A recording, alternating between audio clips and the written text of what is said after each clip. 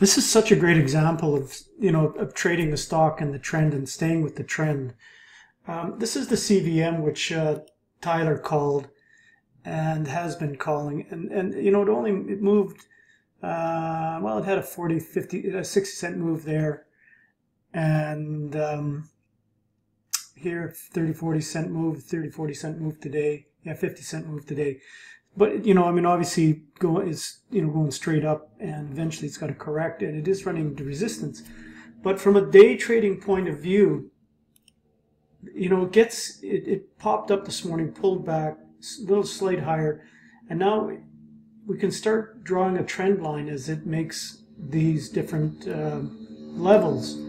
And I moved my uh, trend line down a little bit once it got going, I get more points there. But you know, it gets in this trend and it just stays in this trend. It's a perfect channel.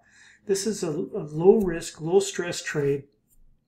Buy it on the on the uh, on the trend line. You know, sell pieces it hits the top of the trend.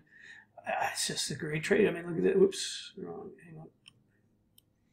You know, pops the wedge. Pops the whoop.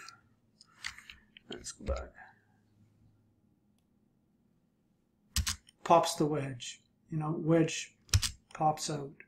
I mean, these are just classic. This is such a classic pattern, such a classic trade. Um, easy to stay in, you know, lots of opportunities to trade it. Um,